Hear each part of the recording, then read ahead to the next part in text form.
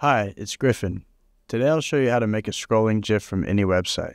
To get this done, we'll use the scroll down animation GIF tool from the Apify store.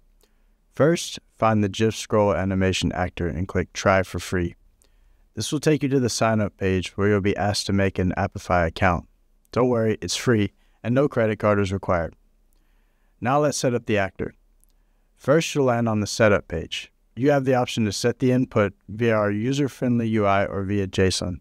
Let's go with the manual view.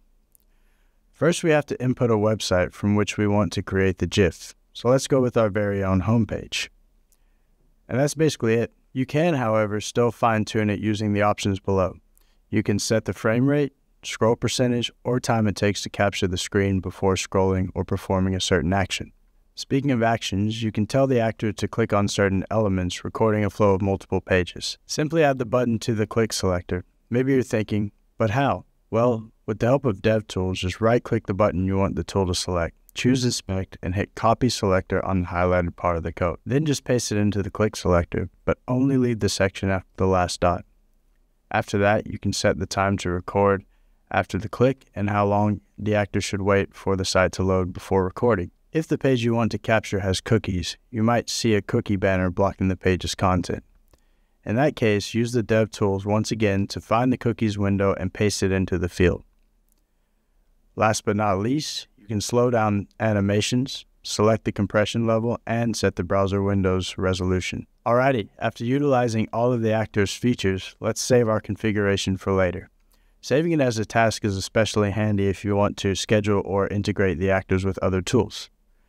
Generate the GIF, all you need to do is hit start. You can wait for your GIF to appear in the overview tab or switch to the log if you want to see more run details. After the run is finished, you'll get the link to your GIF file, which is also saved in Apify's key value store. You can download the files directly by going to Storage, Key Value Store, and hitting the download button. If you want to even further automate your workflow, you can schedule your scrolling GIF test to run at regular intervals. To do this, choose your task, and hit schedule. You can then specify the frequency of how often you want to run the GIF scroll animation. You can also connect your scrolling GIF maker to other cloud services such as Google Drive, Zapier, or any other Apify actor. Want to know how much it'll cost you? This actor is free to use, and you only pay for the Apify platform usage. And since the free plan gives you $5 of free monthly credits, you can generate hundreds of GIFs without paying a single cent. That's all for now. We'd love to hear your feedback on this scrolling images GIF maker. Remember, if you encounter any complications, please don't hesitate to report them to the active developer through the Issues tab in the Apify console. If you like this video, please leave a thumbs up, subscribe, and hit that bell to stay notified about future content. So long, and thanks for all the likes.